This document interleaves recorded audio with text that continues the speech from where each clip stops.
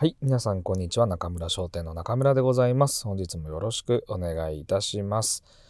ということで、今日もやってまいりましょう。今日もフレデリック・ウィリアム・ランチェスターさんのランチェスター経営戦略、えーこちらの5大戦略を用いて解説をしていきたいなと思っております。えー事例2ということで、バーバーナインさんの場合やっていきたいなと思います。バーバーナインさんのコンセプト、年齢を重ねても素敵なライフスタイルを過ごしたいですよね。私も髪や肌の状態が気になる年頃になってきました。何もしなければエイジングは進んでいきます。当店ではいつまでも傾向で、えー素敵でいられるようお手伝いいたしますということでコンセプト書かれておりました。えーウェブサイトの方はもう少しこの画像よりも下の方も書かれてたんですけども、このコンセプトについてはまた後ほど、えーもう少しこう工夫をねした方がいいかなという部分を見つけたのであのご説明をしていきたいなと思います。はい。バーバーナインさんのターゲットはこんな感じです、えーペルソナのお名前島田様。年齢45歳職業会社員。家族構成は奥さんと娘さんの既婚の男性ですね。休日は家族と公園などに行って過ごし、まあ、趣味趣向で言うとこう音楽を聴いたりお酒を飲んだりこういう関係などでは会社の人間関係のまあ愚痴が出たり友達は多い方じゃないかなと。情報収集するパターンなんかは友人とかのコミュニケーションや、えー SNS も、えーよく使っている。特にインスタをよく使う。45歳。45歳でインスタがメインの SNS っていうのは結構珍しくもないけどあの SNS としては40代男性だと結構 Facebook のシェアが多いんですよね。でそこがあえてインスタグラムを使ってるっていうことになると割とこう特定の使い方使い方にかなりこう特徴があるんじゃないかなと思います。えーもしくは、えー移動手段自転車がメインで、えー金銭感覚とかも、まあ、そこそここういいものなんかは良いものを、えー取り入れてる方なのかなと。まあ、お悩みで言うと薄毛だったり職場のストレスを抱えてらっしゃるようなイメージということですね。でバーバーナインさんの所在地なんですけど大阪市の中央区に位置していまして、まあ、地図を拝見させてもらったんですけどもかなりこう街のど真ん中っていう感じですよね。でこのど真ん中に位置している周辺環境としてはですね同じ Google のマップの中で検索は利用で調べたかな。利用の検索をかけました。バーバーとかねいろいろまあワードはカタカナにしたりアルファベットにしたりいろいろ検索をかけてみたんですけど、まあ、ざっとざっと出てくる店舗はこんな感じですね。逆にナインさんの名前がここに上がらないのがちょっと気になるところではありますが Google のちゃんとこうマイプレイスだったっけな？マイビジネス。ちょっと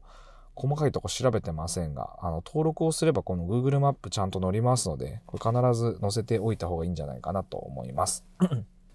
えーそしてですね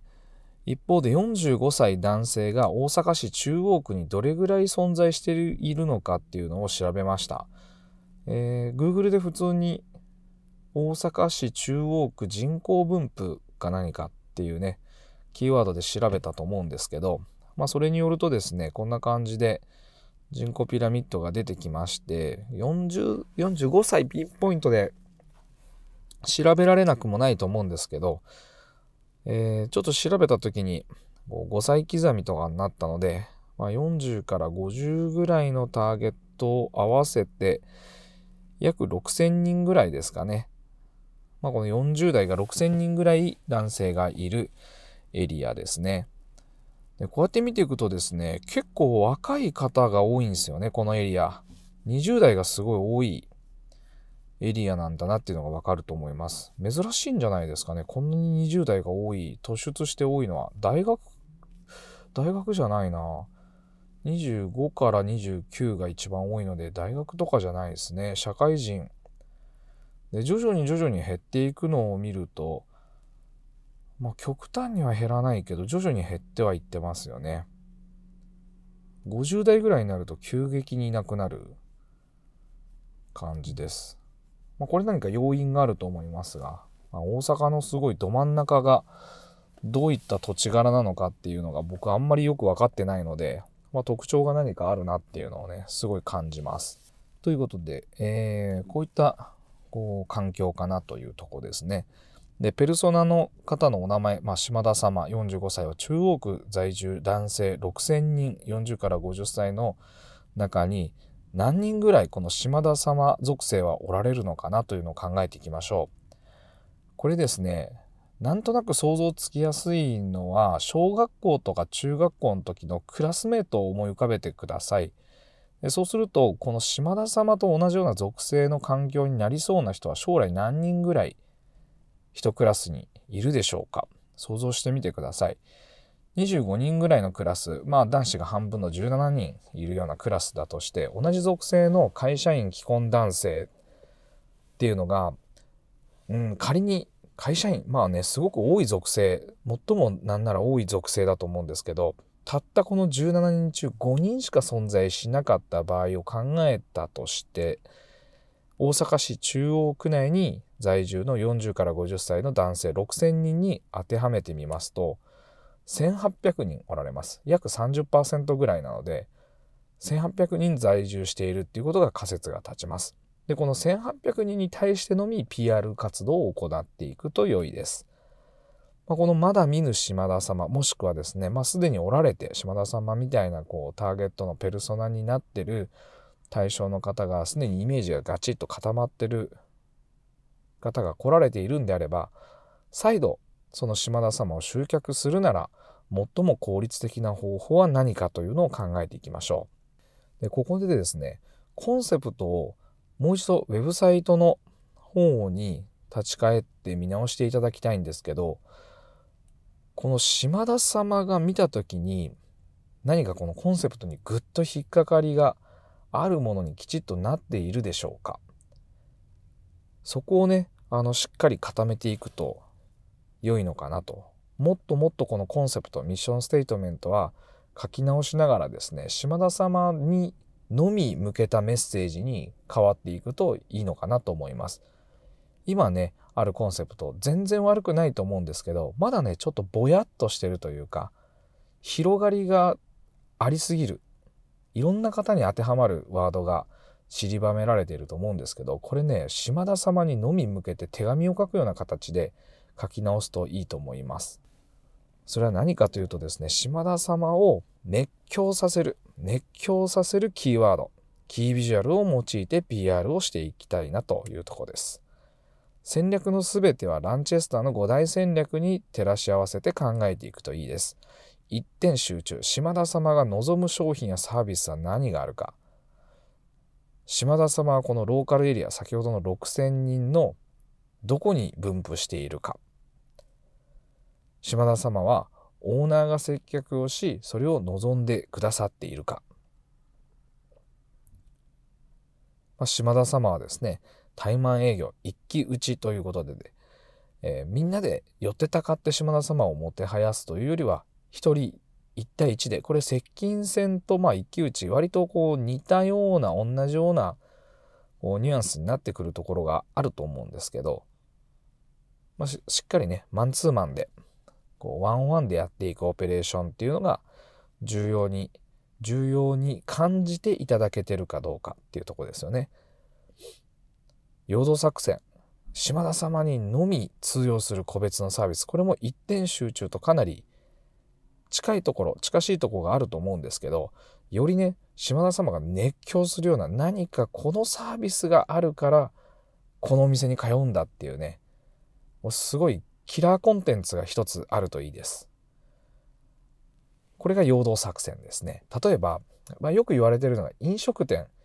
飲食店で、うーん、このお店、この、この仮にそうだな。このラーメン屋さん、僕は唐揚げが好きで行っているとか、この居酒屋さんの、うん、ポテトサラダがうまいんだとかね。そのキラーコンテンツが一つあるとね、すごくいいんですよね。メイン、メインとは言わないところに実はこうハマる要素を一つ作るっていうのがすごく重要です。そういったサービスを考えていけるといいかなと。でそういうものを何をやるといいかなっていうのを考える時に自分ができるサービスから作っていくのではなくて島田様が望んだものを作っていくっていうのが重要になります。これがですねランチェスター経営の5大戦略弱者の戦略と呼ばれている戦略になっていきます。ということでですね振り返ってみるとバーバーナインさんの場合もコンセプトはかなりしっかりはっきりとありますしお店の内外装にしてもやはり島田様に向けたものっていうのがこうコンテンツが揃っているのじゃない揃っているのではないかなと思います。ただその集中度合いが少しこうねぼやっとしているところが各所に見受けられるのでもっともっとターゲッティングをしながらですね島田様に向けたサービスを集中投下していく。これが重要なのかなと感じることができました。こう場所や人口の問題もこの辺はまあオールクリアだと思います。そんなにライバルの多い地域でもないのかなとあの全然ないわけじゃないですけどきちっとこう PR が島田様に刺されば見つけてくださるんじゃないかなと思いますで少し不安要素としてはですねやはりこの島田様が何をもって情報収集をしているのかっていうのはもっと明確にした方がいいと思います。SNS を使ってたとしても、その SNS で情報を島田様に直接リーチさせるのはかなり困難ですし、予算がないとインスタなんかを使ったとしても結構予算かかっちゃうのかなと感じましたので、もっともっと効率的に島田様にこう情報を届ける方法っていうのを考えていけるといいのかなと思いました。はい。というわけで今日は以上になります。また新たな事例も、え、解説させてもらいたいので、ぜひぜひご希望の方はですね、コメント欄なんかに、あのー、希望を入力してやってください。ではまたお会いしましょう。チャンネル登録よろしくお願いいたします。さようなら。